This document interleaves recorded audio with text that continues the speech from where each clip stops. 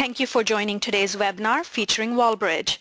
Today's session will cover how Walbridge uses 3D scanning to validate BIM on construction projects. It is my pleasure to introduce you to Tim Kelly, Product Manager at Assemble. Go ahead, Tim. Uh, to get kicked off today, we'll quickly cover our agenda. Um, I'm joined by Tom Greaves and John Jurewicz today from DotProduct and Walbridge. Um, each of us will quickly introduce ourselves and then our organizations. And then I'm going to give everyone a, a quick overview of Assemble BIM Cloud Engine. And then uh, we're going to jump right into the use case uh, that Walbridge has gone through. And, and John's going to kind of cover the bulk of today's show. So with that said, uh, as Samir mentioned, I'm the product manager at Assemble Systems. Um, I actually come from the commercial construction industry. Um, I have both pre-construction and field construction experience. And with that said, Tom, you want to go ahead and introduce yourself? Hey, thanks very much, Tim. So I head up sales, marketing, and, and support for DotProduct, and I work out of our Boston office. We also have a development office in Wiesbaden, Germany. Before joining DotProduct, I was executive director of CyArk, uh, which is a nonprofit uh, based in California, and, and CyArk documents cultural heritage sites around the world, and in doing so, does a lot of laser scanning as part of its work. Um, in 2003, my wife and I started the SPAR conference, uh, or SPAR conferences rather. Uh, from we, we grew that business from a cold start in our kitchen table in 2003, and uh, remained at the helm until 2010 when we sold the business. So I've been around point clouds for uh, about 17 years. I think it was 2000 I saw the first one. So um, anyway, happy to talk a little bit later about our handheld solutions. John. Thanks, Tom. We've been using Tom uh, and DotProduct's handheld scanners for the past three years, and we're excited to show you what we've been doing with the Tango. Um, my own background, in, when I started in, as an architect in 85, I was trained in historical work as well as uh, commercial work and did my thesis on extracting quantities from models. And so kind of fast forward today, we're really excited that the technology is becoming very affordable and also very useful for the guys in the field. And uh, with that, I've, I've, got 30 years experience. It's easy to see on LinkedIn, but I'll pass this back to, uh, to, to, you, Tim.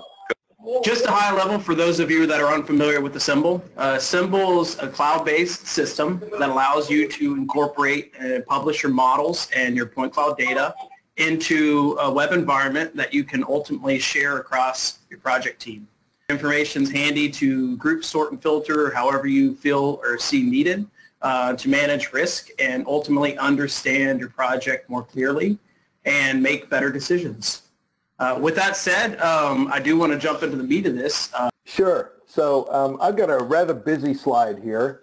Uh, DotProduct uh, develops uh, and markets solutions to capture and document the world in 3D on, on light devices, phones or tablets. So in the upper left-hand corner here, you can see our DPI-8X. This is our flagship product. And we're in a pump room here in, in a high school project in Houston, uh, capturing that pump room. So that shows some of the, the, the, capture side of what we do. We also have some tools to edit and annotate point clouds so we can crop them and mark them up. Uh, these tools run on both Windows and Android and we can also take measurements. Um, one of the cool uses of our technology is it's very easy to get our data into VR environments. So just a matter of minutes, um, you can capture some data and bring it into a VR environment. On the lower right-hand side, you'll see our Tango solution. I'm going to talk just a little bit more about that in just a second. Um, I want to show you, though, the or point out the slide on our on the lower left-hand side. This lists all of our partners. All of the companies and products listed behind these logos can take our binary file format. Uh, and our, typically our files are very small, 20, 30 megabytes uh, is typical. And they can take that data and do something useful with it. You know, in some cases it's a VR solution, in other cases it's a design solution. We're very proud to be associated with Assemble and Bloom, um, cloud-based solutions to uh, integrate our point cloud with uh, design geometry. So um, let me just drill a little deeper into uh, two of the solutions, the DPI-8 and the, and the Tango solution. Okay, so there's the uh, DPI-8X. You can see it's handheld and it consists of a tablet and a 3D sensor on the on the other side of the device.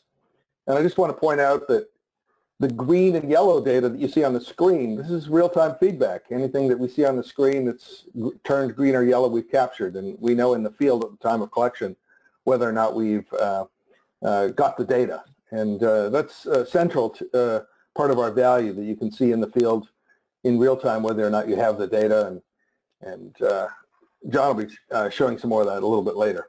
Here's our software running on a low-cost uh, phone device made by Lenovo, the Lenovo Phab 2 Pro. And uh, you, you can get these devices on Amazon. They're for sale today. Uh, they're under $500. And uh, really shocking to me that you can capture high-quality 3D data on a, on a phone and, and then connect to uh, an engineering application or a CAD application or a VR application. Uh, what we've endeavored to do is cut the cost of, of the capture side. Now, you're not going to scan a 200,000 square foot parking garage with one of these. They're, they're limited uh, in, the, in the volumes that you would go after. You know, a, a, pump room is reasonable. A parking garage is not. So anyway, uh, just that's uh, a, a, very quick look at, uh, at two of our products and, and uh, some of the software that goes with them. So with that, let me pass uh, the uh, the controls to to John Jurewicz, who's going to talk about how they use these technologies. Yeah. So first, a little bit about Walbridge. Most people say, "Well, who is Walbridge?" We're based in Detroit. We're a hundred-year-old company. We kind of key in on doing industrial work, although we've done some higher education and mixed use. Um, you can see some kind of major milestones for our company in that we had built the book building in 1926, and we then got into doing some munition plants both in um, throughout the Midwest and in Twin Cities, and, and have done work kind of all over the the North American continent, and then recently finished a large um, project that was down in Mexico where we, we used a lot of this extensive hand scanning as well as conventional scanning. We got our hands on the Tango only uh, within a month and um, we were asked to feature it on Google's I/O And Google was very interested in the work that we were doing. And we, we basically, like Tom said, we're shooting small areas that we either had not the time to set up and do our conventional tripod scanners, or we were just capturing data that was missed, that was uh, overlooked um, when, we, when we went through the first pass. And as you know, is what you see is what you get when you scan. And we were trying to fill in some of the miscellaneous areas between pumps and pipe. And we did this in an effort to reroute piping, and also just to make sure if new equipment would fit when we brought it in. Now, before I get into this, there are some limitations with the, uh, the Phab device. For instance, the throw is only 12 feet. So if you're trying to get beyond 12 feet, it's not going to work, although the optics companies tell me that within a year they're going to improve that uh, with the Tango device. The other thing is it's not going to capture tons and tons of data. You're better off doing smaller chunks of data kind of as you scan, you want to catch lots of oblique angles or be panning the object you're scanning around. And when it turns green, and we've learned that you just kind of got to wait for it instead of rushing it. Just wait, kind of like a key grip in the movie industry. You just slowly pan what you're doing, and then that turns green. Green is good. And so um, we've had good experience. What you see here are two, two of my field guys, Joel and Brett, and within an afternoon and a couple hours, they uh, were able to use the device and, and have some rather success with it. So because of that, we're seeing that it's scaling readily in the field for guys that don't have a lot of money or time to process with um, point cloud data. In fact, point cloud data can take um, several weeks to schedule because the equipment's in demand, and then we we have time to process the data, which is rather large because we're capturing so much. So really the value in this device that's Tango, it, it, it's really something that you can do quickly, capture it in small amounts for small areas, and then be using it like that afternoon through a web viewer, um, which is why we're excited that it works with a web viewer like Assemble. So I, will jump in here for a second and, and kind of uh, echo uh, what you're saying there, John, about being able to quickly make a decision, be informed about what that decision is. Um, in an afternoon, the idea, you know, it's, it's Tom mentioned maybe a pump room. Uh, you might have some equipment coming in, ultimately need to track what the process is to get that into the room or something, something of that sort, and, and to schedule and get um, the terrestrial scanners out on site may take too long. And, and ultimately, you need to jump out there really quickly and capture this information and, and, and process the information and make a decision. And I think that's exactly uh, the, the use case you're talking about in just a minute. But with that said, I just want to kind of, Tom uh, and John have both mentioned the integration with Assemble here. And ultimately, the Assemble BIM Cloud Engine, what you're able to do is combine uh, point clouds with what you typically have seen in the past in Assemble, uh, which are, is your model data. Um, we do bring in information from these handheld scanners as well as terrestrial scanners, and that data is incorporated into uh, our cloud environment, our product, Assemble Insight, uh, so that you can share that across your project team. So when you have this information all brought together, you're, again, being more informed. You have uh, more capability of collecting that field data along with your design data, and you're able to make those decisions there. So kind of jumping into a little bit of features, I don't want to dig too deeply into this because there's a whole lot of stuff here. But um, with this, um, with incorporating all of this information uh, with the Assemble BIM Cloud Engine, you're able to uh, run deviation reports and create heat maps or Excel uh, reports off of that. Uh, you can create um, CAD objects directly from those point clouds, so you don't have to go and remodel anything. Uh, you have the ability to create clash reports and do some clash detection between uh, CAD to CAD or point cloud to CAD. Um, you have the ability to, uh, you can kind of see there in the demolition planning, do some animation and, and staging and slide things through your model. Uh, you also have the ability to compare and show uh, progress information between uh, multiple iterations or versions of uh, your point cloud or your scan data.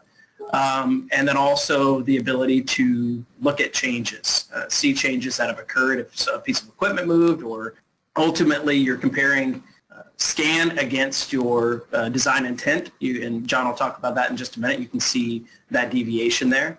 Uh, but again, the, the important piece here, and, and John just mentioned it, is again, connecting all of this data and sharing it out across your team through a cloud-based environment so that the rest of your team doesn't have any heavy software to download or install uh, or to, to get set up. And it's ultimately a quick login and you're able to go.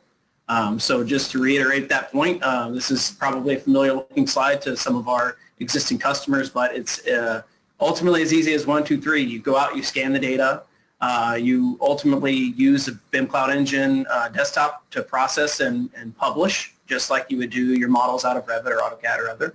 And then um, you're able to share that information. As soon as that's published, you, the rest of your team is going to get a notification that uh, that data is available and you're able to uh, then collaborate and, and, coordinate from there.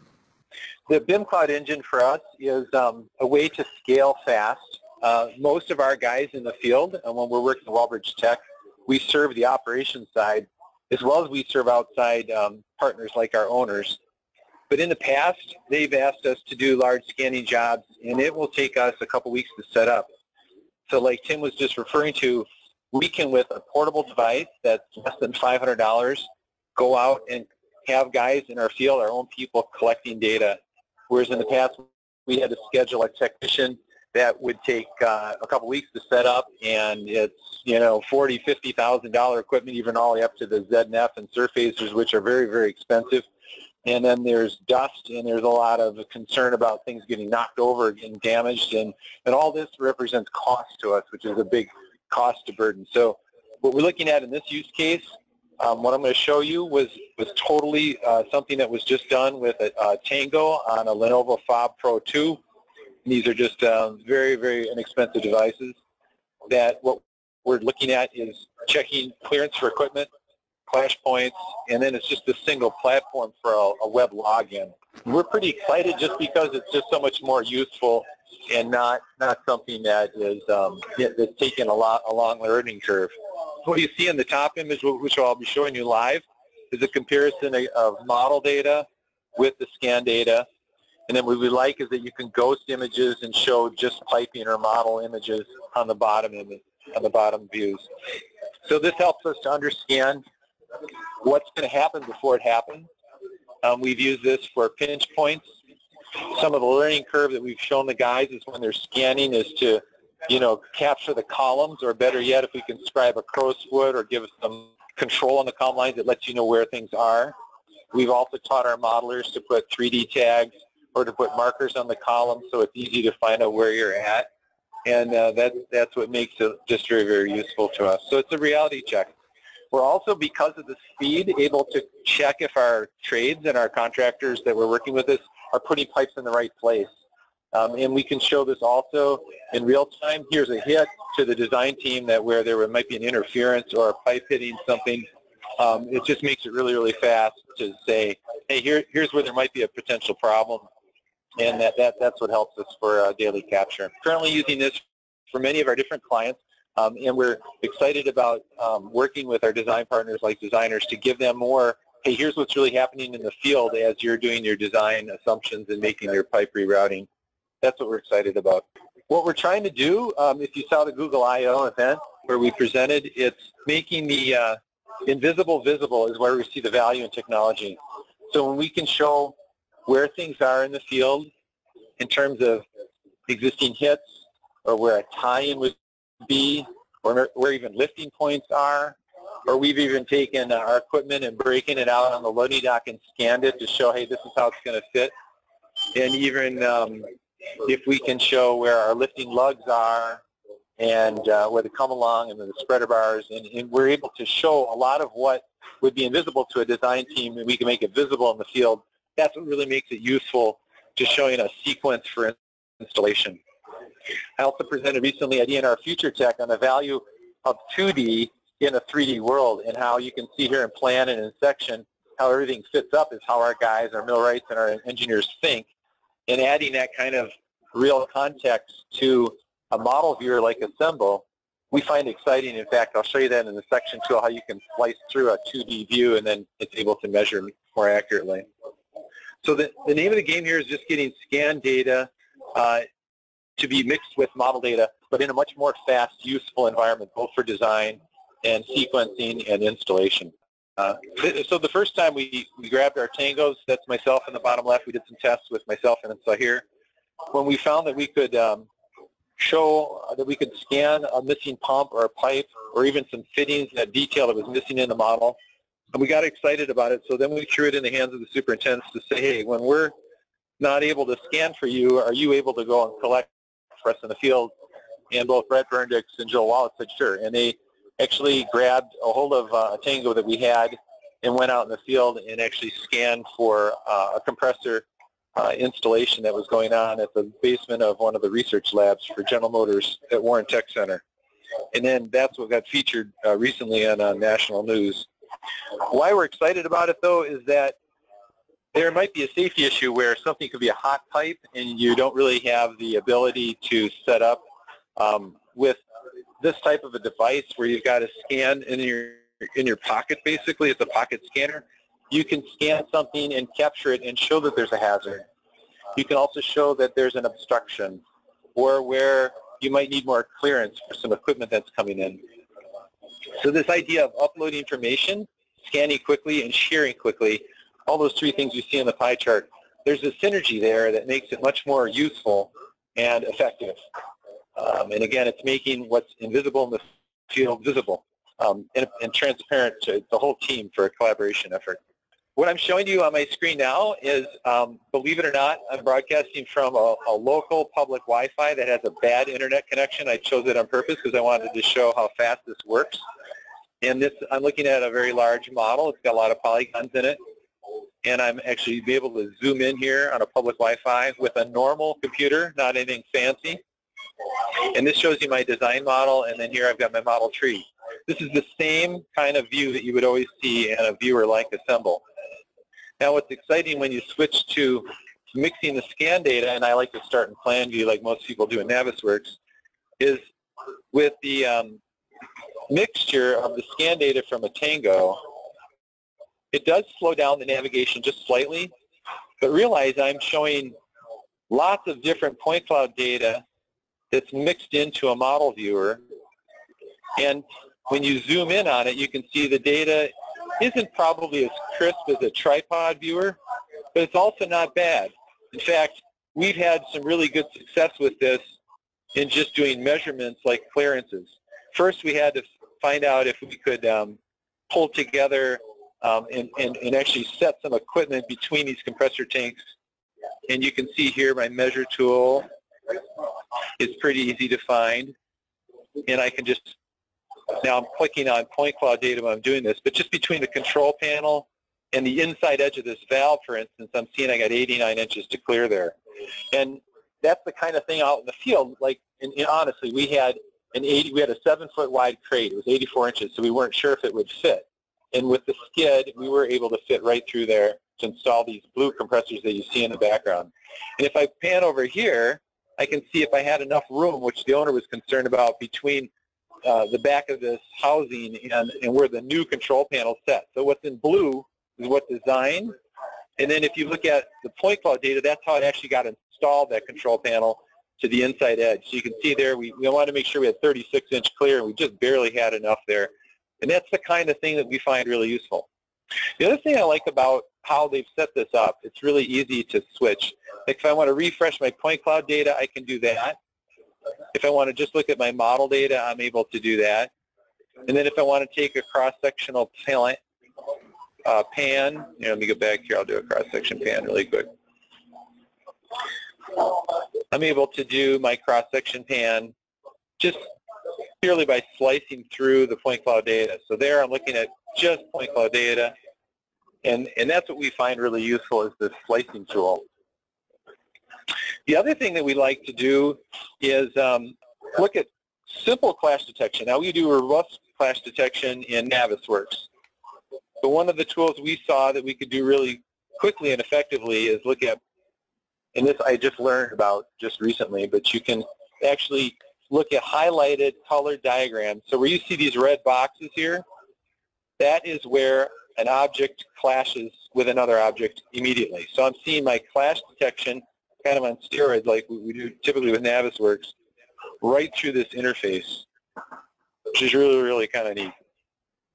Now, if you're just looking at point cloud data, it can be kind of intense, especially from the Tango, because like I say, it isn't super crisp, but it's also not that bad. And we've been processing it with uh, Tom Greaves' DotProduct. We found it really useful to do um, like references to columns. So you can see I'm always encouraging the guys to scan a column so they can get capture that, helps us to align. But also what we like about it is mixing with the model data so that it just makes it uh, simpler um, to view in 3D and in 2D at the same time. But I'm telling you that this data was caught in an afternoon, in hours, and not in days and not in weeks. And the processing time was very, very fast.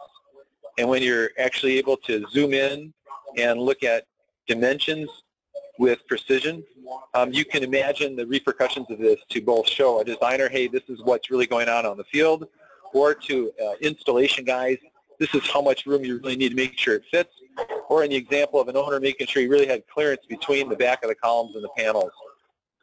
And, and I mean, that's, that's what the value of this is. It's making the invisible more visible and readily usable by the team in a shared environment for collaboration. Um, you can also switch, just showing you some of these other tools, um, you can actually toggle and slice it from top down. So let's say you want to just look at it more simply with the guys in the field. They sometimes look it's too complicated to look at everything in 3D. If you use the overhead section tool, you can actually start dialing in and you can see this tank in the field was actually set just a little bit off of where the real tank was in the model. So you can use this as quality checking and maybe in reality it doesn't matter that the tank was set that far off from the model, but maybe it was going to interfere with some other trades that were depending on the tank being in the right spot.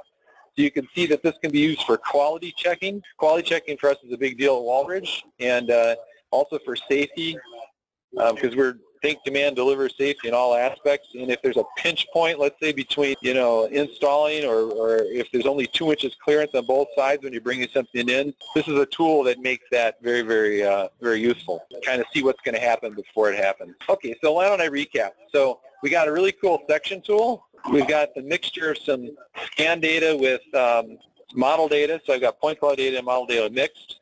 I'm able to section. And in the last uh, part of this is the ability to measure readily with my measure tools. So those are all the different uh, the features of this of, of, what's going on here.